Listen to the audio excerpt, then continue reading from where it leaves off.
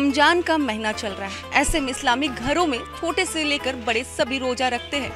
वहीं पूरे दिन भूखे प्यासे रहने के बाद जब शाम तारी का समय होता है तो सभी लोग मिलकर अपने घरों में रोजा खोलते हैं। और रोजा खोलते समय खजूर ज़रूर होता है, क्योंकि इस्लामिक धर्म में खजूर की जो मान्यता है वो काफ़ी महत्व मानी जाती है। वहीं अगर हम देखें तो वैज्ञानिक दृश्य से भी इसकी महत्व काफ़ी अलग होती है। तो वही अभी हमारी मौजूदगी राजधानी रांची के डेली मार्केट में है, जहाँ पर तरह तरह के खज, खजूर है अलग अलग वैरायटी के खजूर है।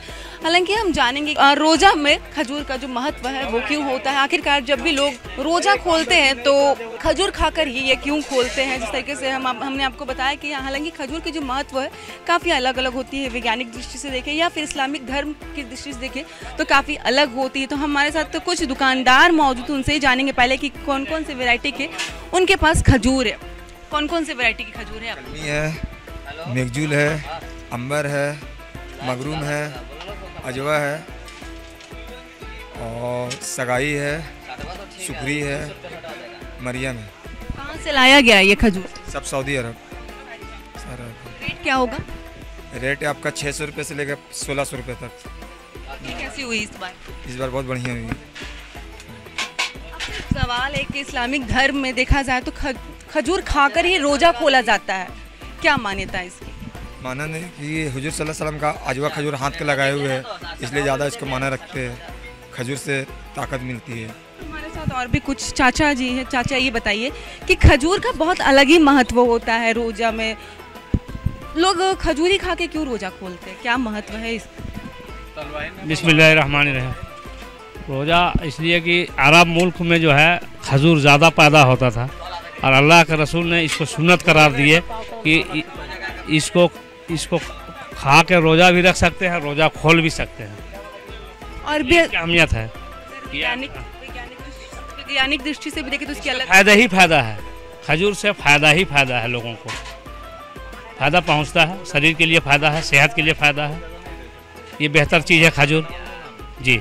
जाता है कि जब पैगंबर जब पहली बार जब रोजा किए थे पैगंबर जब पहली बार जब रोजा किए थे तो वो खजूर खाकर ही वो रोजा खोले थे ये भी एक कहानी है। आ, इसीलिए सुन्नत करार दिया गया कि अल्लाह के रसूल ने जो चीज़ की है और जो चीज़ हुक्म किया वो सुन्नत हो गया।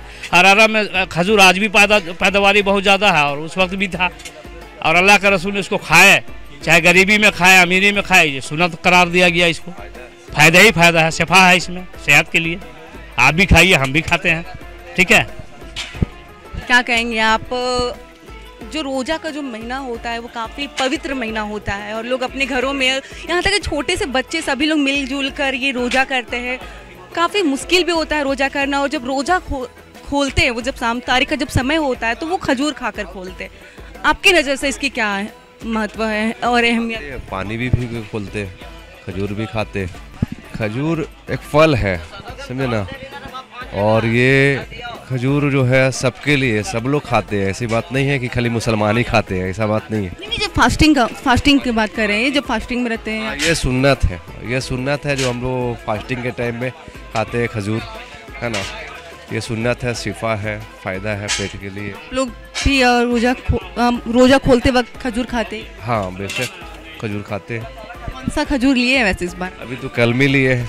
बहुत से अजुआ अजवा भी लेते। हैं अच्छा कौन सा खजूर होता है? अजवा होता है। अजवा। कैसे केजी मिलता है हज़ार बारह सौ चौदह सौ रुपये किलो है। काफ़ी महँगा है।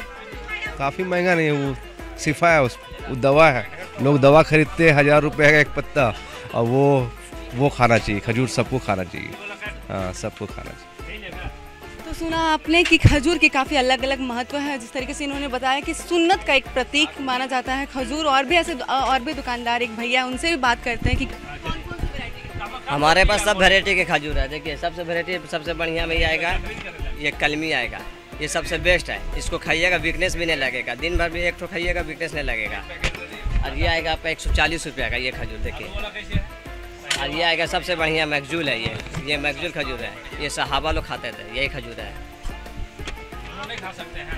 हाँ। कह नहीं सकते हैं। हाँ देखिए इधर भी लगा हुआ है सोपो देख रहे हैं इधर देख लीजिए। सबसे महँगा अजवा आता है खजूर सोलह सौ रुपये किलो। कलमी खजूर। जी।